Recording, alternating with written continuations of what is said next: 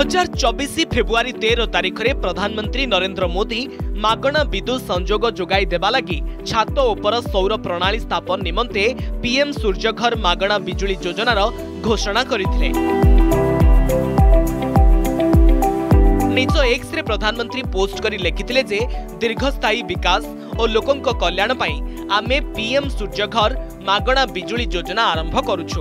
ପଞ୍ଚସ୍ତରୀ ହଜାର କୋଟି ଟଙ୍କାରୁ ଅଧିକ ନିବେଶ ସହିତ ଏହି ପ୍ରକଳ୍ପ ପ୍ରତି ମାସରେ ତିନିଶହ ୟୁନିଟ୍ ପର୍ଯ୍ୟନ୍ତ ମାଗଣା ବିଦ୍ୟୁତ୍ ଯୋଗାଇ ଦେଇ ଏକ କୋଟି ଘରକୁ ଆଲୋକିତ କରିବା ପାଇଁ ଲକ୍ଷ୍ୟ ରଖିଛି